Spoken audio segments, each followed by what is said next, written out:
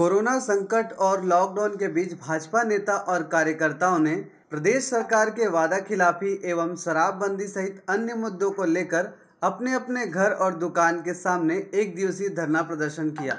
Bharatiya Janata party प्रदेश नेतृत्व के आह्वान पर प्रदेश सहित ज़िले में एक दिवसीय धरना प्रदर्शन किया गया। भाजपा के नेता एवं कार्यकर्ता अपने अपने घरों और दुकानों के सामने बैठकर हाथों में विरोध की तख्ती लिए प्रदेश सरकार के खिलाफ प्रदर्शन करते नज़र आए। इस प्रदर्शन का अंदाज कोरोना संकट और धारा 144 के मद्देनजर बदला हुआ दिखाई दिया, जिसमें कार्यकर्ता किसी एक जगह पर एकत्रित न होकर अपने अपने घरों और दुकानों के सामने बैठकर धरना प्रदर्शन किया। कोरोना संकट के दौर से गुजर रहे और इन लोग सोशल डिस्टेंस की धज्जियाँ उड़ाते हुए शराब की दुकानें को खोल दिए है और यहाँ व्यापारी लोग परेशान हैं, उनके लिए एक सीमित समय है और शराब की दुकान के लिए असीमित समय है।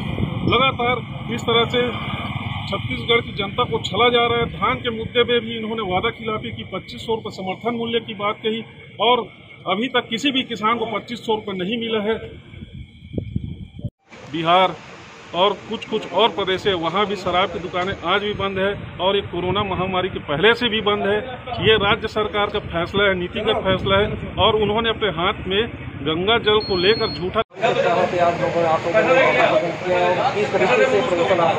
भारतीय जनता पार्टी के प्रदेश के नेतृत्व के आह्वान पर आज भारतीय जनता पार्टी के पूरे प्रदेश के पूरे मंडलों के, पूरे जिलों के हर कार्यकर्ता व्यक्तिगत रूप से धरना में बैठा हुआ है, क्योंकि कांग्रेस ने सरकार बनाने के पहले बहुत सारे झूठे कस्मे गंगा जल को लेकर, हाथ में लेकर खाई थी, और सरकार बनने के बाद वादा खिलाफी की है, जैसे शराबबंदी की बात कही थी, आज तक शराबबंदी नहीं की। अभी देख रहे हैं कि कोविड 19 कोरोना महामारी से पूरा विश्व जूझ रहा है और सरकार ने 45 दिनों के बाद फिर से शराब की दुकानें को खोल दिया है, जो कि एक अशोभनीय कृत्य है और अपना वादा खिलाफी के उसी प्रकार से किसानों के साथ बहुत अन्याय हुआ है।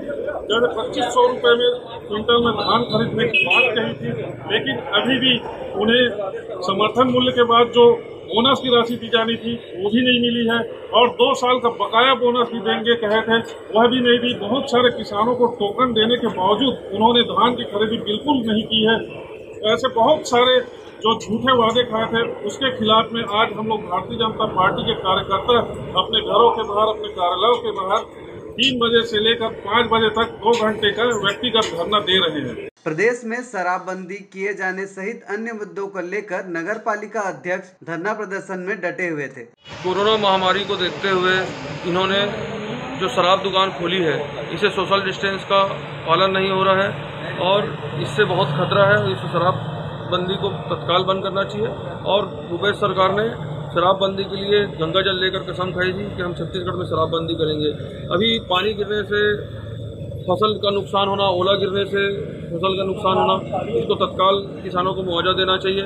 मजदूर जो आ रहे हैं बाहर से, दूर अंचल से, उनको लिए सारी व्यवस्था करनी चाहिए, वो व्यवस्था नहीं हो रही है इस सबको देखते हुए हम लोगों ने एक दिवसीय धरना प्रदर्शन अपने अपने घरों के बाहर अपने अपनी दुकानों के बाहर में कर रहे हैं।